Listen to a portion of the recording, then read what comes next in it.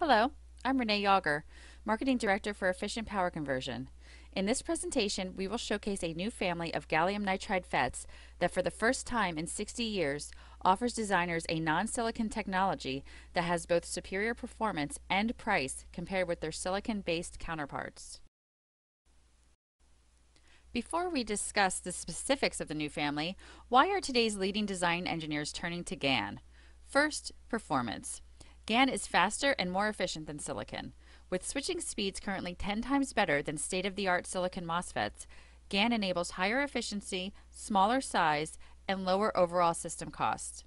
EPC's enhancement mode eGaN FETs have been in production for more than seven years and in a wide variety of applications and topologies. In every instance, GaN transistors have been shown to increase the efficiency of the system. Second, applications. The performance advantages of GaN are opening up new applications that expand the entire semiconductor market. And third is price. GaN is cost effective. Since their introduction, eGaN FETs have proved to be the simplest and lowest cost GaN device to manufacture, since they are processed in a standard silicon wafer foundry using standard existing silicon processing equipment. In addition, the elimination of plastic packaging further reduces the cost of manufacturing. 35 years ago, the silicon power MOSFET was a disruptive technology that displaced the bipolar transistor. The dynamics of this transistor taught us that there were four key factors controlling the adoption rate of a new power conversion technology. Does it enable significant new applications? Is it easy to use? Is it very cost effective to the user? Is it reliable? Let's now address each of these questions individually for the next generation of technology, eGaN FETs compared with silicon power MOSFETs. Does it enable significant new applications? The answer is yes. eGaN technology enables or greatly enhances many applications, and here's a look at a few that are made possible primarily because of the higher switching speed of eGaN FETs and ICs. Wireless power transfer, RF DC-DC envelope tracking, and LiDAR. In the wireless power transfer space, high frequency up to 6.78 MHz has been adopted as a standard frequency because it allows for a thin coil and thin shielding. While MOSFETs do not perform well at this frequency, eGaN FETs are ideal for this application. Initial applications for wireless power transfer include cell phones, game controllers, laptop computers, tablets, medical implants, and even electric vehicles.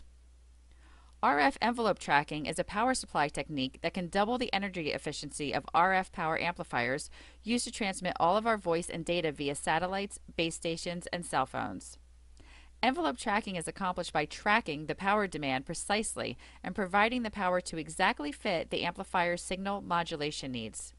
Today, RF power amplifiers operate at a fixed power level, delivering maximum power whether or not the transmitter needs it eGaN FETs are the first power transistors capable of tracking power demands at the high data transmission rates used in 4G and soon to be 5G LTE networks. LiDAR, light distancing and ranging, uses pulsed lasers to rapidly create a three-dimensional image or map of a surrounding area. LiDAR technology allows for high accuracy, larger coverage areas, and increased speed and efficiency of data collection. The technology has traditional applications in mapping, coastline management, geological surveys, meteorology, and natural resource exploration.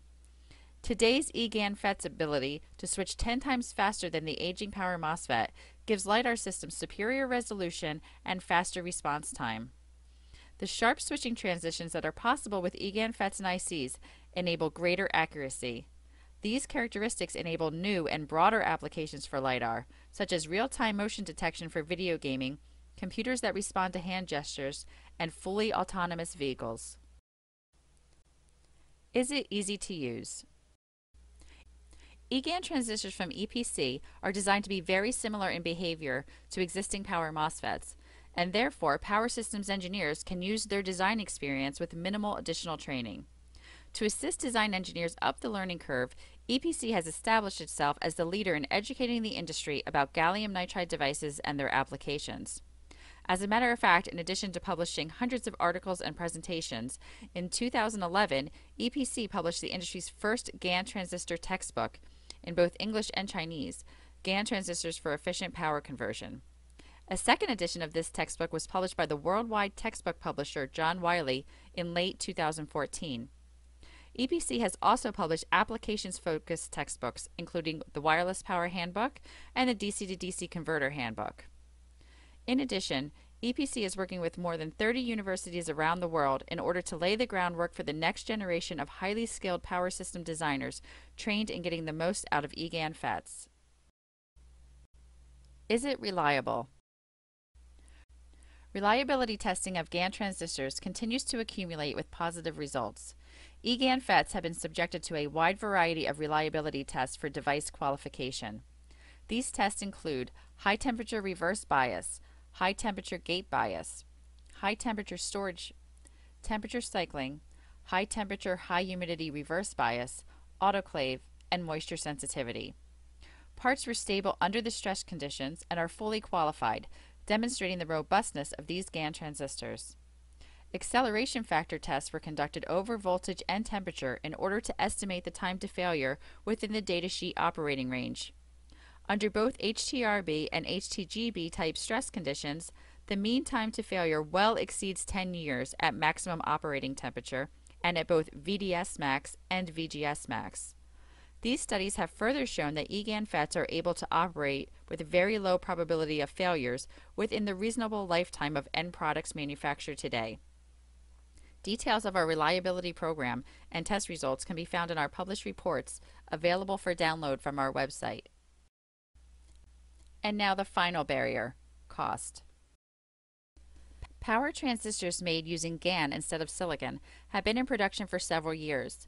The designers of the earliest applications were driven to GaN based on the faster speeds that could be achieved when switching power. Faster switching can translate into smaller size, higher efficiency, and lower system cost. GaN transistors switch 10 times faster than silicon devices. In order to get this enhanced performance, customers paid a premium price for the state of the art in power transistors. When we first introduced our products in March of 2010, we made a promise to our industry that by 2015 we would be able to produce and sell our eGaN FETs at a lower price than that of a power MOSFET with the same voltage and on resistance. Now we are being true to that commitment. Benefiting from the learning curve of the last several years, the cost of producing GaN devices has dropped to substantially lower than the cost to produce silicon devices, and EPC is bringing that benefit to the consumer with this family of devices. A new line of eGaN FETs is now available that are not only much faster and smaller than power MOSFETs with similar on resistance and voltage ratings, but these new transistors are priced favorably at comparable volumes. The power MOSFETs used for comparison in this table were selected based on having roughly comparable maximum rated on resistance and having the same maximum rated breakdown voltage. Note that the indicators of switching speed, QoSS, QGD, and QG are also shown in this table for comparison. Likewise, the capacitances are significantly less for the GaN devices than for their counterpart MOSFETs. Device area is also shown for comparison and shows that there is a 20 to 40 times size reduction in the size of the eGaN FET compared to the silicon MOSFET. Finally, in the far right columns are comparisons of low, mid, and high volume pricing as indicated on the DigiKey website at the time of product launch. To evaluate the performance of this new family, a buck converter was built using the 60 volt EPC 2035 and a 48 volt input, 5 volt output DC to DC point of load converter, driven by the Texas Instruments LM5113 and operating at a switching frequency of 1 MHz. The waveforms are shown here. Note that despite the extremely fast switching, there is minimal voltage overshoot at the completion of the transition. With this family of eGaN FETs, the design engineer can realize lower cost, superior switching speeds, and a smaller final product when designing with these parts. The last barrier to the widespread adoption of GaN transistors as silicon MOSFET replacements has fallen. So to recap, many new applications are enabled due to the quantum leap in frequency capability of the GaN devices.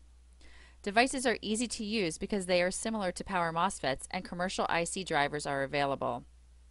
Reliability testing shows that parts are able to operate with very low probability of failures within the reasonable lifetime of end products manufactured today.